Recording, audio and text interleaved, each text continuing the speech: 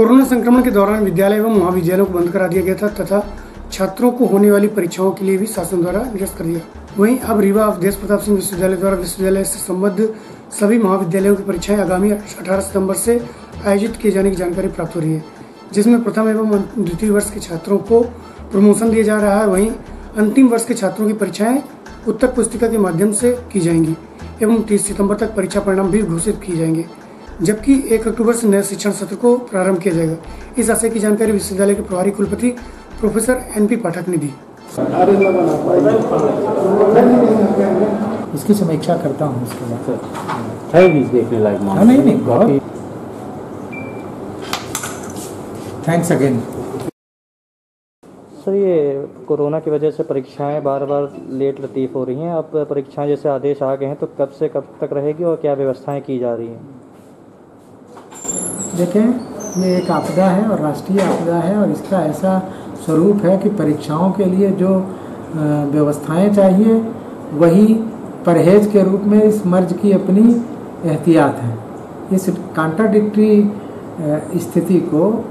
Manage करने में हमें ही नहीं, हमारे प्रत्येक उच्च स्तर को भारी कठिनाई और निर्णय की असुविधा झेलनी पड़ी है। लेकिन इसके बाद भी माननीय विश्वविद्यालय अनुदान आयोग के हमारे अध्यक्ष जी एम के हमारे जिम्मेदार अधिकारीगण तथा अन्य और पदेन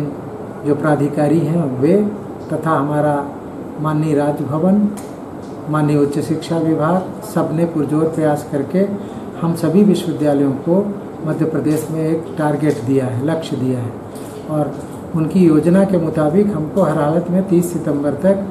परीक्षाएँ ही नहीं, अपित परीक्षाओं के उपरांत प्रायोगिक तथा लिखित अंकों को संयोजित करके बच्चे को छात्र अंक सूची देकर छात्र को, परीक्षार्थी को उन्हें एक अक्टूबर से नए सेशन में चाहे वर्चुअली चाहे भौतिक रूप से अगर परिस्थितियाँ सामान्य रहीं तो कक्षाएँ चलाकर, शिक्षा के सत्र के लेट हो जाने पर उसे फिर से रेगुलराइज करने की कार्य योजना का लक्ष्य है। अभी फ़िलहाल प्रथम दृष्टया हम सब लोगों ने परीक्षा की गोपनीय और परीक्षा विभाग की तैयारियों की कल मैंने एक बजे समीक्षा की है और उस समीक्षा से बड़े संतोषजनक परिणाम आए हैं और मैंने राज्य शासन के साथ अपना संकल्प व्यक्त किया है कि हम प्रत्येक स्थिति में 18 सितंबर से अपनी परीक्षाएँ शुरू करके इन्हें पाँच दिनों की समयावधि में या एक सप्ताह की समयावधि में पूरी करके और इसी बीच हम अपने प्रायोगिक अंकों को महाविद्यालयों से बुलाकर पहले उनकी फीडिंग करके रखेंगे और अग्रणी महाविद्यालय के माध्यम से उत्तर पुस्तिकाओं का संकलन करके, सैद्धांतिक प्रश्न पत्रों का भी त्वरित मूल्यांकन कराकर, शीघ्रातिशीघ्र रिज़ल्ट देकर, एक अक्टूबर से मध्य प्रदेश मार्गदर्शी सिद्धांत की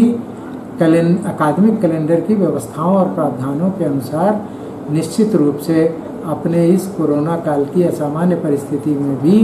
जैसी भी परिस्थिति रहेगी, सामान्य परिस्थिति होने पर भौतिक रूप से कक्षाओं का संचालन, असामान्य परिस्थितियाँ ही बने रहने पर वर्चुअली या आभासी कक्षाओं को संचालित करके इस आपदा के दुष्प्रभावों से दो दो हाथ करके अपने बच्चों के भविष्य को बर्बाद ना होने से बचाने की पुरजोर कोशिश करेंगे।